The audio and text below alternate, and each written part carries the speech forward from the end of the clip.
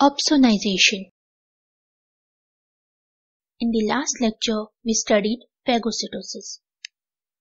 There we saw that the cells involved, that is phagocytes, they express a variety of surface receptors that directly bind microbes. That is, they bind specific molecular patterns which are known as PAMPs on the microbial surface. Then they ingest them and kill them. This is one mechanism of eliminating microbes by innate immunity. Opsonization is a process which enhances the efficiency of phagocytosis by phagocytic cells. This process involves specific antimicrobial proteins which are termed as opsonins. These antimicrobial proteins are present in our body fluids. Phagocytes such as macrophages and neutrophils have receptors for these opsonins on their plasma membrane. Opsonins have ability to bind the microbial surface. So, they coat the microbial surface and this coating increases the number and kind of binding sites on the microbial surface. In Greek, opson means to prepare for eating. Now we said that opsonins coat the microbial surface. We also said that phagocytes have specific receptors for these opsonins. So now see how opsonization is helping the phagocytosis process.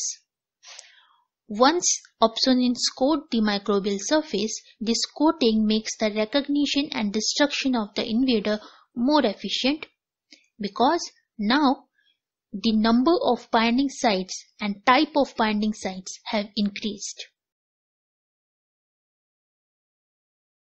Let us now define opsonization, the process of coating pathogens to promote phagocytosis is called opsonization and the proteins which perform this function are called opsonins.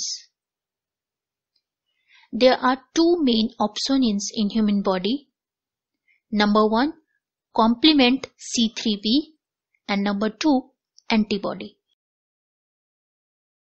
Complement C3b as opsonin. Now we said earlier complement or complement system is a set of plasma proteins. They help in elimination of microbes which we will study in a separate video lecture. For now we should know that C3b is a complement protein which has ability to bind microbial surfaces. And we know that phagocytes they also bear receptor for C3b that is C3b receptor. Once C3b protein coat the microbial surface, the C3b receptors bind these C3b proteins and trigger phagocytosis of the microbe. Antibody as opsonin. Since this is a part of adaptive immune system, we will describe it in short here. When adaptive immune system recognizes a pathogen such as a bacteria, antibodies specific to bacteria or that pathogen are produced. These antibodies bind to the surface of microbes. If you remember, we have said that antibody is a Y-shaped molecule and two arms of that Y forms the antigen binding site and stalk is known as Fc region. So these antibody binds to the microbial surface with their antigen binding arms and phagocytes have receptor for the Fc region of the antibody.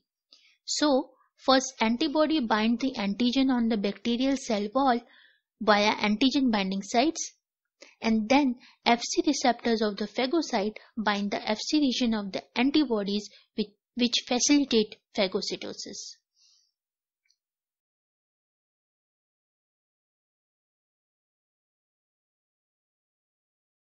So, to conclude this chapter, we now understand that opsonins function as a bridge between microorganism and the phagocyte and opsonization is the process which enhances the phagocytic ability of a phagocyte.